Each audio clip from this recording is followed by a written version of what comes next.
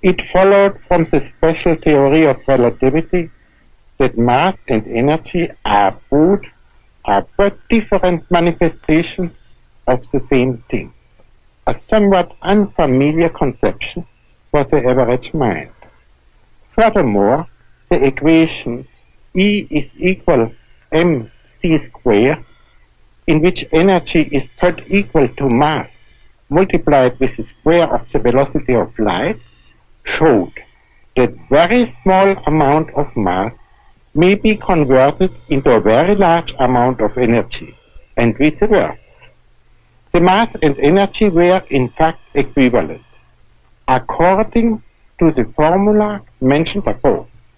This was demonstrated by Cockcroft and Walton in 1932 experimentally.